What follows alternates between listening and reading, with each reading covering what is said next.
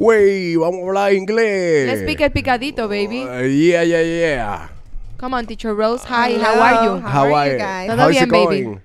How's it going? What's up? How was your weekend? Oh, Oh. machúcalo ahí. Machuca. ¿Es machúcalo? it, it was very dirty. ¿Qué? Tradúcele, profe. was- You were was- celebrating a birthday. I know that. Yes, was was very busca- Did strong. you Strong. eat cake? Did you eat some cake? Yes, bueno, okay. el hombre está ronco. Ah, pues estaba cantando. Were you singing? With the mic. With the mic. I hope so. I hope not. I No, hope well, you were I hope singing with the mic. No, No, uh, not with with, the the, mic. mic. Yes. No, eh, I hope he didn't use a mic. no. Pero he was singing. He was singing, probably. I was singing, ¿Del verbo? ¿De cuál verbo? singing. De cantar. Del verbo cantar. Gracias. Elliot. Del verbo cantar. Para los que no entienden el, eh, el inglés, sing es cantar. Viene Teacher Rose hoy a hablarnos ¿Cómo del está? inglés en España. Sí, el, el inglés en España fue lo que me inspiró el tema, pero vamos a ampliar un poquito más. Eh, le decía a Elliot ahora fuera del aire que el- la- lo que me hizo eh, llegar aquí fue que ustedes compartieron que Berlín le dio like a, a algo de Adana y Eva. Ah, Berlín no, Río, el novio de Tokio. ¿No fue Berlín? No, fue Río, el novio de Tokio. Ah, ¿y Likeó una de las publicaciones de Adana y Evo. ¿eh? Ah, ok, yo pensaba que había sido Berlín. El novio de Tokio, de Claro, la casa de, papel. De Ya, la ya, casa de Río. papel. Ok, ok, ok. ¿Tú no lo en viste? fin. Pero fue maravilloso. Me encantó que le diera like. se sintió muy heavy. Sí. Bueno, el caso es que me hizo pensar en, en- en el inglés eh, dentro de los españoles. Yo hace un tiempo eh, tuve la oportunidad de vivir en España y viví de cerca eh, un poco de, de ese sentimiento de los españoles hacia el inglés, como lo percibí yo, claro está. Yo no es como quiero... un rechacito, un rechazo. Creo que sí, es una resistencia. Eh, voy a ser muy delicada con eso, no, porque no quiero criticar bajo ninguna circunstancia a una cultura, claro que no, pero sí yo vi una diferencia en cómo se aprecia el inglés desde los españoles en relación a cómo lo vemos nosotros los dominicanos. Nosotros lo vemos con mucha más apertura. Sí. Nos gusta el inglés. Nosotros tenemos negocios con nombres en inglés. Escribimos frases en nuestro negocio que ni escribimos bien, pero nos gusta y sentimos que todo suena mejor en inglés. Eso, Sí. es, eso es algo yo creo que se puede decir cultural. Eh, ¿Por qué? Bueno, habrá que hacer pero Yo o sea, le- te, uno- puedo, te puedo decir, yo tuve la oportunidad de estudiar en España el tema de doblaje y la locución allá. Y viene de Franco, de- desde la dictadura de Franco, donde él impone como ley que se hable únicamente la lengua española. Ah, ok. Todo debía de ser traducido, todo debía de ser doblado para poder salir en algún medio de comunicación y por ende, pues desde esa época se ha implementado eso. Ya está un Que poco... está muy bien está para un- tú preservar Sí, tu lengua. hoy en día es Tú eres tiene- pro dictadura, derechista, Ah, centro derecha. No, no, no, no, no. Yo lo encuentro súper bien porque, porque eh, tú cuidas tu lengua, pero también entiendo que tenemos que tener un poquito de apertura sin ser Sí. eh, lambón. Todo- Claro. Todos los extremos son malos. Yo creo que con la globalización uno tenemos más acceso a, a todos los idiomas, a más culturas. Entonces, el acceso a un idioma es un acceso a otra cultura. Uno puede Claro. aprender muchísimo de aprender no solamente el idioma, sino muchísimas otras cosas. Entonces, algo que se percibe en España, cuando yo estuve allá hace 10 años, no sé si habrá cambiado, es que el español es muy orgulloso de ser español, está orgulloso de su lengua y la quiere hablar y no se avergüenza de que se note que sea español, algo que yo sí puedo percibir con los latinos, que nos vamos a otro sitio, hablamos inglés y no queremos que se note que somos latinos, queremos como que... Que, el se inglés sea perfecto. Que, que nuestro inglés, ¿no? Que somos de aquí, que tenemos todos los años viviendo aquí y que lo que lo- el español es lo, es lo último. Y en el español en general eso no es así, el español le gusta que se sienta que es español. Yo de hecho conocí a alguien, eh, un, un muchacho de mi edad que tenía universidad, tenía maestrías, un tipo educado y que hablaba muy bien inglés, pero hablaba con el acento bien marcado y él en una yo osé corregirle la pronunciación Sí, sí. y él me dijo algo como, no, no, a mí no me interesa zona mejor, a mí me interesa que el que me oiga sepa que es un español que le está hablando en inglés, o sea... Oh. Yo no, perdone usted, no dije nada. Y eso me dio esa lección de que el español, ellos les gusta eso. Incluso eh, eso de ver las películas dobladas es parte de, ellos disfrutan más ver todo en español.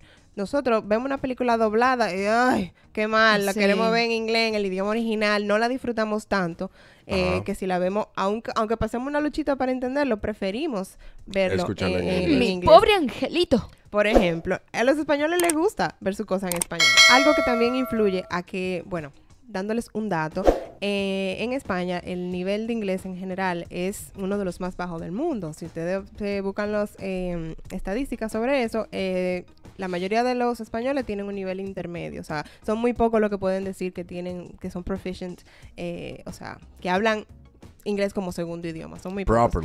Eh, entonces, eh, eso por lo que hablamos ahorita y también porque ellos practican el español todo el tiempo. O sea, ellos ven películas en español, les disfrutan todo más en español y eh, eso me llevó a fortalecer otra cosa que leí hace poco que me, me lo encontré fenomenal y lo voy a aplicar para el resto de mi vida y es que el lenguaje no lo podemos ver como algo que estudiamos, sino como una habilidad que no se estudia, sino Ay, que se lindo. entrena. Claro. Es como un atleta. Tú puedes ser el mejor atleta cuando tú estás entrenando, cuando tú estás, digamos que en forma, tú eres lo máximo, pero tú, ese mismo atleta con ese mismo talento que deja de entrenar por unas semanas, por unos meses, no es verdad que se puede meter a un maratón. Exacto. Y tiene el talento ahí y sabe qué hacer a lo mejor, pero sabe que si no está en forma, que si no está entrenando, Está oxidado. eh, exacto, no va a tener la misma, no los mismos resultados. Entonces con los idiomas pasa lo mismo. ¿Por qué hablamos español a pesar de que lo podamos encontrar difícil? Porque lo hablamos todo el tiempo, todos los días, como parte de nuestras vidas. Entonces, con el inglés también es algo por lo que la, mucha gente eh, dice, yo estudié hace años y se me ha olvidado. Claro, porque no lo practica, no lo ve todo el Claro. tiempo, entonces es, es- Claro. es una habilidad que si no se entrena, pues se olvida. Eh, y para continuar con el tema de los españoles, yo traje unos clips de artistas muy famosos eh, españoles que hablan inglés, eh, unas entrevistas para que analicemos el inglés. El primero es, ¿cuál tú tienes primero, Eli? El que yo tengo primero, vamos a escuchar quién es. Well, I remember I was I was in Uruguay. Uh, I was with my parents-in-law and my boyfriend, and we were celebrating the New Year's Eve. Yeah.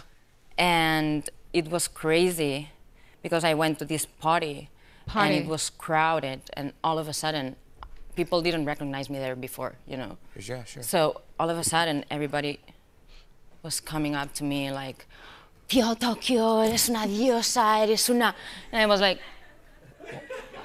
Wow. What's Something going changed. on here? This is crazy. Something changed. Yeah. yeah. ah, pero no está tan es- machucado. Sí, De esa es para los que no la reconocieron, esa es Úrsula Corberola que hace de Tokio en La Casa de Papel y ella ahí está hablando con Jimmy Fallon. Ella, si ustedes se dan, cu- se dan cuenta, habla bien pausado, habla bien despacio y para mí eso es inteligente porque eso disminuye los errores. Si tú estás hablando en un segundo idioma, mejor vete al paso al- en lugar de irte como una carretilla y equivocarte 60 veces. Ella habla bastante pausado, también asegura que se la comprenda más fácil. Su pronunciación es, ella tiene un acento marcado, se nota sí, el sí. español. Ella, los errores que comete, para mí, son de vocabulario, son bien sencillos. Ella dice, por ejemplo, we were celebrating the New Year's Eve. En ese caso no es necesario decir the, sino New Year's Eve. Eh, ¿Pero eh, es un error o es simplemente...? eh, yo no diría un error, es algo que no es necesario ahí en, en- en ese contexto. Entonces eso no es algo para llamar la atención. Ella habla bastante bien, tiene un vocabulario amplio. Ella dice crowded, eh, eh, so many people. La pronunciación de party se nota que, que ella Party. dice party. Exacto, la, eh, esa pronunciación de la A bien en español que en inglés, aunque tengamos algo parecido a A, no es A como lo decimos en español. Por Pa- ejemplo, tú pa- no dices Apple, tú- es Apple. Exacto. Apple. No es party. Party, party, exacto. Esas, esas diferencias eh, eh, se notan con Úrsula. De hecho, fonéticamente hablando, para, para ir con eso, la A, cuando uno dice A en español, la boca se vuelve más redonda. Mientras Sí, que al- en el inglés, la boca es un poco Como más para cerrada. cantar. Ah, ah, ah, ah. Sí, es un poco más, es un sonido más corto. Es más así. corto y la, y la boca va más cerrada. Ujú. Ok, tenemos otro ejemplo aquí. No, we were here in LA. Yeah. Because uh, my brother lives here and we're very close. I'm 11 years young, uh, uh, older than him. And he has a little baby. Um, I had met him, but my kids still had not met uh, their cousin, and they were very angry and upset about that. And finally, we could be here together with them. Oh, that's sweet. That's great. Are there specific traditions that you have? coming- Ay, querida Ellen. Ellen, si nos estás escuchando, hello baby, I love you, Ellen DeGeneres. Esa era Penélope Cruz, para los que no la reconocieron. Penélope es una actriz, una actriz de más trayectoria que, que Úrsula, tiene más tiempo en los medios hablando eh, en, En inglés. inglés. Y yo siento que ella ha mejorado en pronunciación, pero lo que hay que eh, admirar, en mi opinión, de, de Penélope es que ella tiene una gramática avanzada, impecable.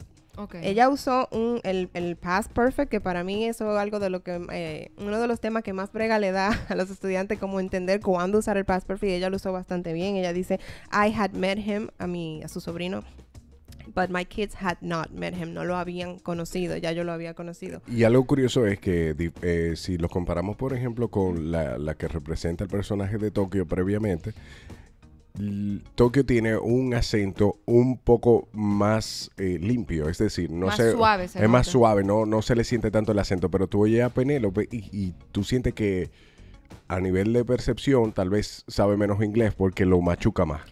Eh, sí, pero yo creo que por la trayectoria, o sea, Penélope a lo mejor tiene más tiempo relacionándose con medios, tiene más experiencia en entrevistas, entonces estaba- se siente más cómoda. Yo siento que Úrsula estaba un poquito tensa. Ella iba bien, bien despacio. Eh, pero bueno, Penélope habla bastante bien. El Ba- ba- bastante bien. Tenemos a aquí al que llora cantando. It's the, the cool thing is I actually think I told you this on the radio the other day. It's so diverse musically because we go from Hero to songs like Súbeme la Radio to Tonight to I Like It, Bailamos, Bailando, um, just all over the place musically. And I think that's what keeps me going on stage. That's what keeps me alert all Yeah. the times. I have not been here in the UK performing since 2014, so that's way too long. Yeah. So I'm really looking forward. Y Ay, aquí- pero él lo habla muy bien, no está machucado. Sí, no, Enrique Iglesias, fluently.